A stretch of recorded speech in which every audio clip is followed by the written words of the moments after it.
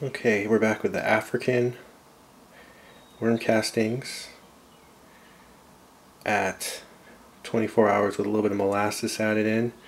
Now we're starting to see some more activity here, so we're starting to get some fungal hyphae.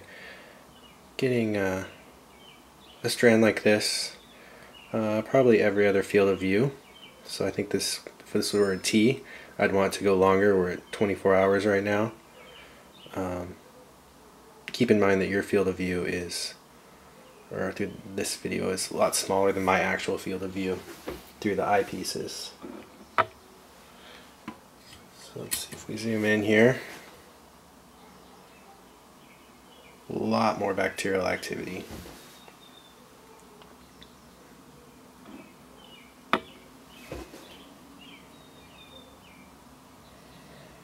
You can see it looks like we have pretty good uh, morphological diversity, different uh, shapes of bacteria.